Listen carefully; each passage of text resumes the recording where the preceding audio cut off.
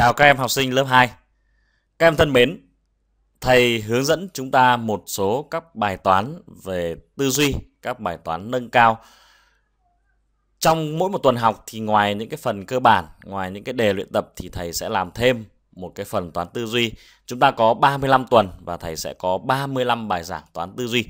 Các em hãy nghe các bài giảng, hiểu về các bài toán, sau đó chúng ta hãy luyện tập thêm các bài tập để chúng ta có thể yêu thích môn toán hơn, học môn toán tốt hơn và chúng ta sẽ rèn cho mình cái tư duy và trí thông minh của mình tốt hơn. Chúng ta sẽ bắt đầu bài học hôm nay với bài toán số 1 như sau. Bài số 1, chúng ta hãy tìm cho thầy hình tiếp theo phù hợp với quy luật. Thầy có hình dưới đây, đó là một hình tròn màu đỏ, sau đó là hình tròn màu xanh, rồi hình tròn màu vàng, màu đỏ, màu xanh, màu vàng, màu đỏ, màu xanh, màu Tiếp theo sẽ là hình tròn màu gì? Các em đã biết lời giải chưa nào? Chúng ta nhìn nhá. Đầu tiên thầy có màu đỏ, sau đó màu xanh, sau đó màu vàng. Tiếp theo chúng ta lại thấy màu đỏ, màu xanh, màu vàng. Rồi chúng ta có màu đỏ, màu xanh. Chúng ta để ý này, cứ mỗi một cái hình như thế này thì chúng ta thấy có ba hình, ba màu đỏ, xanh, vàng sẽ gộp lại thành một nhóm như thế này. Vậy cái nhóm tiếp theo sẽ là đỏ, xanh, vàng. Thế thì cái nhóm mà chúng ta còn thiếu ở đây sẽ phải là đỏ, xanh, vàng. Cái hình tiếp theo trong bài toán này đó là màu vàng, đúng chưa nào? Đáp số bài toán này là màu vàng. Bây giờ chúng ta tiếp tục đến với bài toán số 2. Chúng ta hãy tìm cho thầy số tiếp theo phù hợp với quy luật. Chúng ta nhìn quy luật như sau.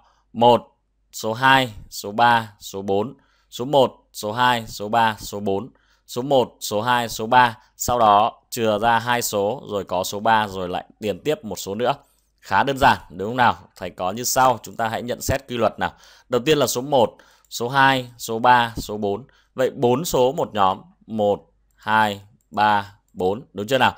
Tiếp theo là 1, 2, 3, 4. Vậy cái số những số tiếp theo sẽ là số 1, số 2, số 3 và số 4 chúng ta cần phải điền vào đó là số 1, số 2 và số 4. Ở đây thầy đã bôi đỏ cho chúng ta. Chúng ta tiếp tục nhé. Thầy có bài số 3 đó là tìm hai hình tiếp theo phù hợp với quy luật.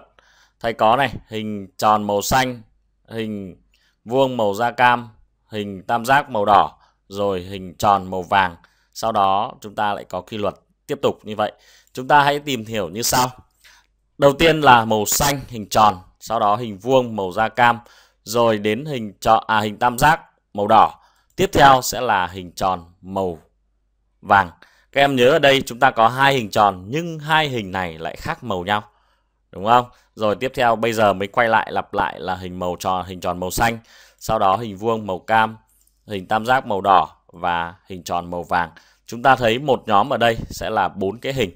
Hình tròn màu xanh, hình vuông màu cam, hình tam giác màu đỏ và hình tròn màu vàng. Tiếp theo một nhóm cũng như vậy. Vậy thì hai cái hình tiếp theo sẽ phải là hình tròn màu xanh và hình vuông màu da cam. Thầy và các em tiếp tục chuyển đến bài số 4. Hãy tìm 5 số tiếp theo phù hợp với quy luật.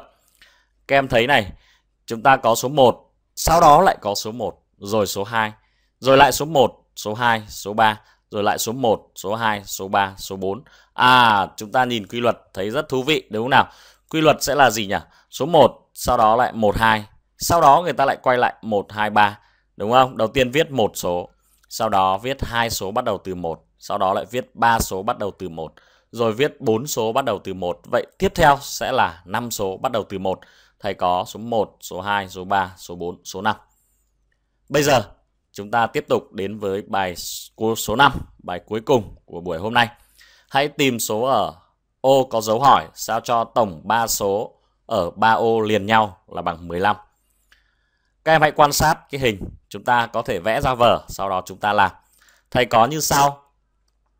Bởi vì tổng 3 số ở 3 ô liên tiếp là bằng 15, do đó chúng ta sẽ thấy như sau. Ở đây là số 3, đây là số 7 và chúng ta phải tìm cái ô có dấu hỏi này. Thế 3 ô liên tiếp tổng là 15. Vậy thầy sẽ có là 3 cộng với cái ô này cộng với cái ô này là bằng 15. 3 cộng 7 là 10 rồi. Vậy chúng ta thiếu ở đây là số 5. Bây giờ chúng ta để ý nhá. 3 ô liên tiếp có tổng bằng 15. Vậy thì chỗ này phải là 5 cộng 7 cộng với cái số ở đây để bằng 15. Số ở đây sẽ phải là số 3. Đúng chưa nào? Vậy chúng ta thấy là 3 này, 5, 7, sau đó lại lặp lại 3. Thế tiếp theo chỗ này các em biết rồi rồi, sẽ là số mấy nhỉ? Số 5, đúng không? Chúng ta bỏ một số ở bên trái thì chúng ta thêm đúng cái số đó vào bên phải. Ở đây thầy bỏ đi số 5 thì 7 cộng 3 phải thêm vào số 5 để được 7 cộng 3 cộng 5 bằng 15. Tiếp theo, chúng ta có đây là số 7. Rồi đến số mấy? Số 3. Và cái dấu hỏi này sẽ được thay bằng số 5. Và chúng ta có đáp số, dấu hỏi được thay bằng số 5. Bài học hôm nay rất thú vị, đúng không nào? Thầy mong rằng hàng tuần các em hãy lên matx.vn để chúng ta học các bài cơ bản cũng như là học thêm các bài tư duy. Thầy chúc các em học sinh luôn luôn yêu thích môn toán và học tập tốt. Chào tạm biệt các em.